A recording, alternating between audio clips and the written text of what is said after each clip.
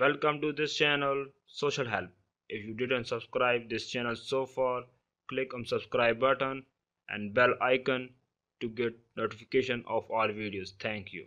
Hello dear viewers, if you are looking how to change notification sound in Messenger then you are in the right place. Let's begin open the Messenger.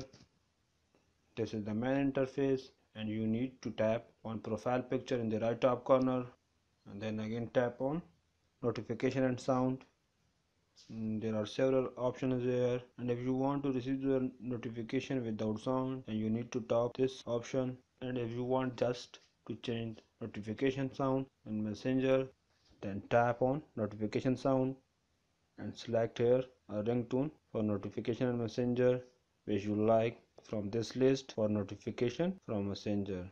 I will select double pop press ok so friend this is how you can change notification sound ringtone in messenger Dear viewers, I hope you will be found this video helpful. Click on subscribe button and like this video. Don't forget to share this video with your friends. It may help them.